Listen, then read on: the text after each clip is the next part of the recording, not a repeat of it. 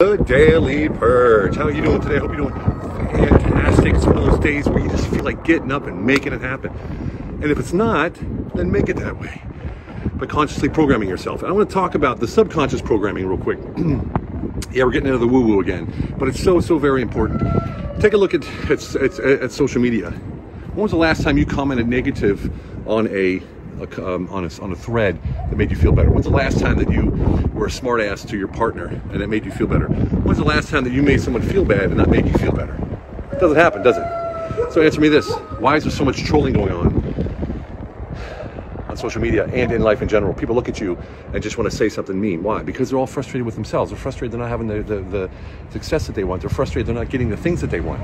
Well, that all comes from that, doesn't it? So the way that I act to the world is what I get back. Echo chamber. Everyone's heard it before. So this is my deal for you today. This is this is, this is gonna be powerful for you if you really if you follow through with it. If you so wish, I hope you can hear me. I'm not sure because the wind is blowing. Uh, if you so wish, and if you feel like making this a habit, start today and do the following. Anytime you see a post or someone on the street or your partner, whatever, and they make you want to fire back at them, stop for a second, turn that thought around into something positive, say that and post that. I mean, you see it all the time. People are just dumping their frustrations on other people. And that creates in your world negativity and frustration. It creates more of it, right? The way you think, things happen. Thoughts are things. So if you think negative, you're going to get negative things.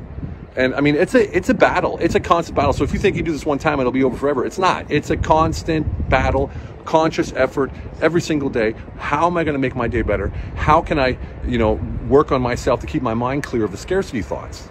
Well, one of the ways is to give out positivity, because then you'll be surrounded with less scarcity, less negative thoughts, and less sort of trolling. So the next time you see someone online that's that pisses you off and makes you want to write something, makes you want to react and lash out, stop and write something positive. No matter what, write it positive. Say it to your partner, positive. The guy in the store that, that, that wants to step on your toe and get in front of you, say something positive.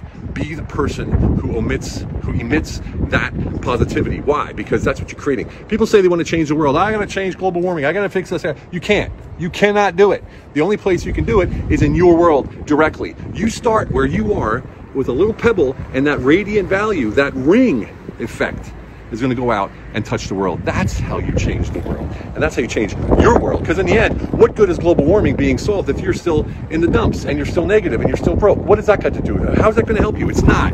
Help yourself first, you can help others, all right? Rock and roll. Remember, quality of life. That's what it's all about. See you tomorrow.